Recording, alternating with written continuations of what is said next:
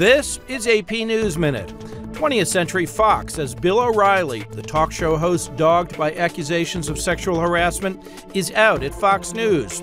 His departure comes just weeks after the New York Times reported that millions of dollars have been paid out to five women who've alleged that behavior, claims the talk show host denies. Authorities in Massachusetts are investigating the apparent suicide of convicted murderer and former New England Patriot star Aaron Hernandez, who reportedly hanged himself in his prison cell overnight. His death cast a cloud over the Patriots' visit to the White House to celebrate their recent Super Bowl victory. A handful of players opposed to President Trump also boycotted the event. Congressman Jason Chaffetz, a key Republican who chairs the House Oversight Committee, says he will not run for re-election in 2018. At least 11 people are dead after landslides triggered by heavy rains struck a mountainous region in Colombia. The tragedy comes less than three weeks after several rivers overflowed near Colombia's southern border, leaving more than 300 people dead.